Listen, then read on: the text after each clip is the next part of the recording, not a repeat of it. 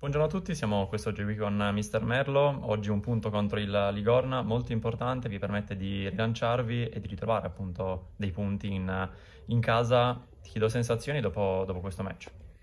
Sono molto contento perché abbiamo fatto, finalmente siamo stati premiati dopo buone partite, perché secondo me la buona partita l'abbiamo fatta anche domenica Varese e, e anche con la Vogarese in casa avevamo sbagliato un paio di gol, poi avevamo sbagliato il rigore, non, non, eravamo premiati in questo momento qua, abbiamo cambiato qualcosina, sono molto contento dell'interpretazione della partita, sono molto contento dell'esordio di Niccolò Gabrieli che ha fatto un'ottima gara, tutti i ragazzi l'hanno interpretata bene, senza paura, pur andando sotto la prima palla che ha avuto Ligorna, e noi se non, non ricordo male ne avevamo avuto un paio di Mano, una di Cenci dove potevamo andare in vantaggio noi.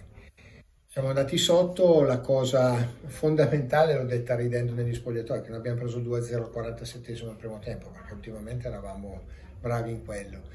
E invece poi siamo rientrati con calma, perché poi delle volte ci va della calma con l'organizzazione, siamo riusciti a costruire la palla dove sono stati bravissimi sia Manno che Avi che, che Cenci a far gol.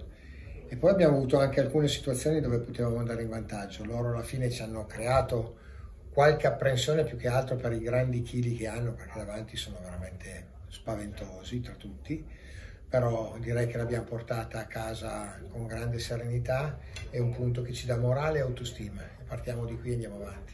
Mister, tra l'altro una prestazione da squadra, anche con, con, i cambi, poi si è sempre di più unito il, il, tuo Fossano, ti chiedo se è questo che vuoi per, per le prossime partite. Guarda, io tutti i sabati quando poi decido la formazione, mi piace sempre deciderla in una giornata di riflessione e serenità. Mi rendo conto di dover non far giocare alcuni ragazzi, al di là del, dell'essere affezionato a loro, perché mi hanno dato anche tanto, tanti dell'anno scorso, ma anche quelli di quest'anno, che dici, cavoli, far star giù un giocatore del genere ti dispiace, però cosa ti dà?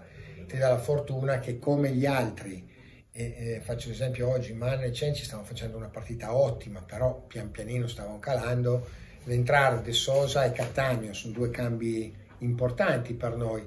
È entrato Ventre al posto di Cociubano, abbiamo giocato con 2-2006, ho dovuto fare la scelta del portiere, anche lì eh, a malincuore perché Ciro è un grande portiere, però Menino è stato bravissimo. Ventre è entrato, ha dato sprint, ha dato vivacità. Eh, io oggi non ho fatto giocare della Giovanna, non ho fatto giocare Muratore che stava facendo bene, adesso è il momento un attimo di Cociubano, non ho fatto giocare Janken però tutti quelli che sono entrati hanno fatto la loro partita e hanno contribuito alla grande a portare a casa a questo punto.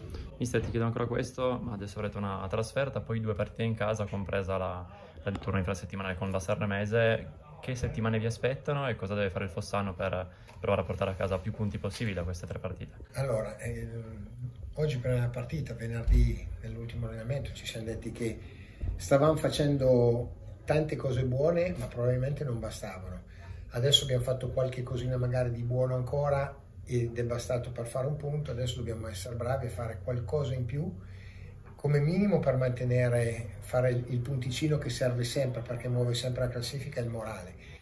E appena avremo di nuovo una piccola occasione cercare di portare a casa i tre punti, perché i tre punti è chiaro che sono fondamentali nel, nel farti alzare la tua classifica.